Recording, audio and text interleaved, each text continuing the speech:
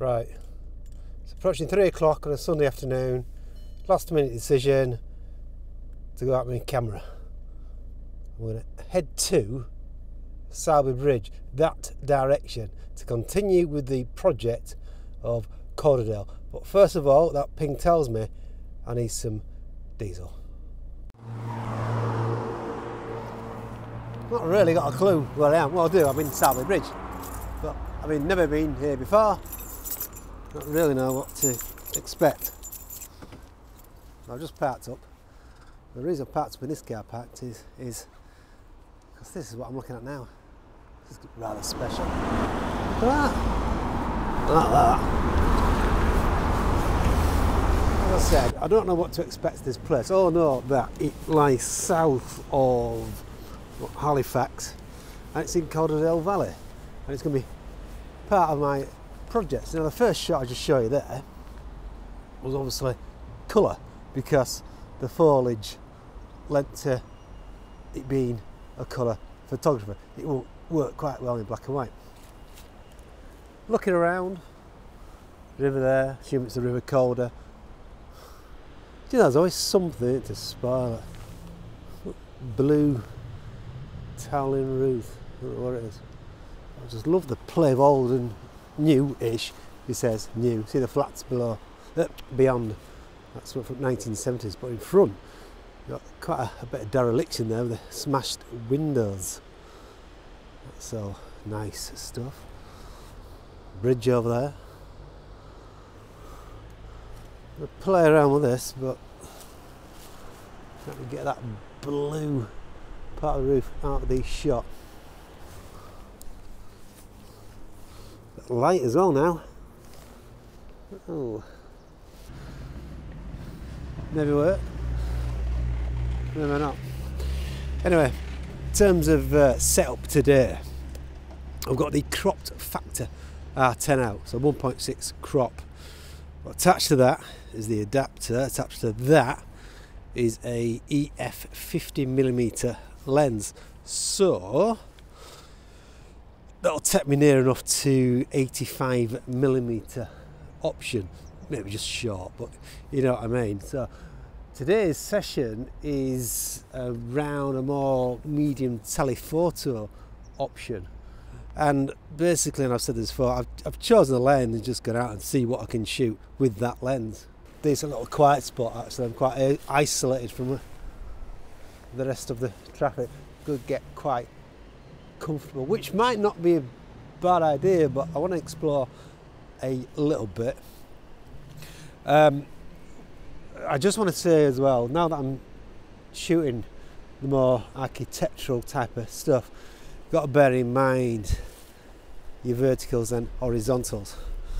If you're at an angle at any point when shooting the image, you're going to get conversion lines and last time I posted on Urban when I had a session in Bradford, I did get a comment and correctly uh, saw um, around the verticals and horizontals. And if I'm honest, I've been I didn't pay too much attention to that, but I've been learnt a little bit more in Lightroom um, with the options available there I could have uh, corrected those. So, and that's what I've done. I've reposted the image on my Bra- Bra- uh, Project 3 Bradford. I've reposted them on my website. So if you go and take a look at those, ah, the peace and tranquility of a canal side. I love canal sides. Away from the hustle and bustle busy place, but I tell you what, this nice church behind me.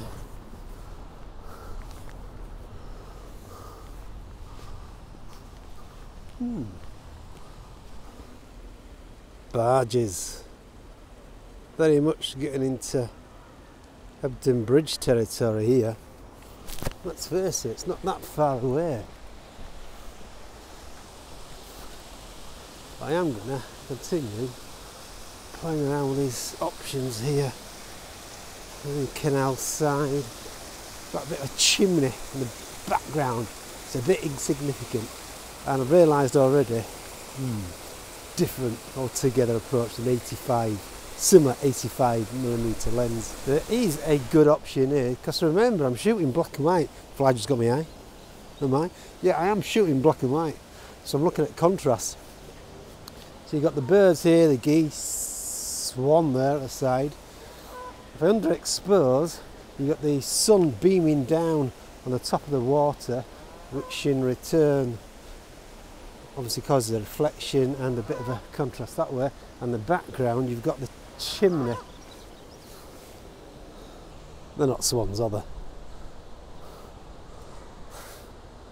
The white geese. But look at that. Could be a nice subject here. Right, so you've got the building on the right hand side, which is creating a balance with the chimney on the left hand side, if you can still hear me. Do you mind? Okay. And you've got the geese in the foreground. And you've got the leading line of the uh, canal bank. So just get the right pause on these geese. Come on, get some chicks approaching me. Come on, what you doing? Do something marvellous. I'm not asking you to dance or you know, but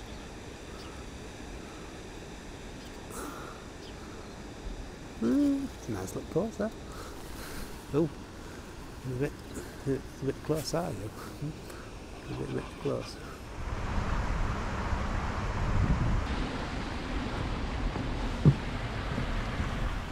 There we go, barges. What I like about this is look at the square windows. Nice comparison against this, sorry, circular windows against the square. It's nice to have a good contrast between them both. What a lovely way to spend a Sunday afternoon. I've talked about the weather, have I? Calm, not doing much at all. The sun is dipping in and out, mainly out. Right, finished with the canal options. I'm going to head back into town, have a quick mosey around there. Not expecting much, but you never know.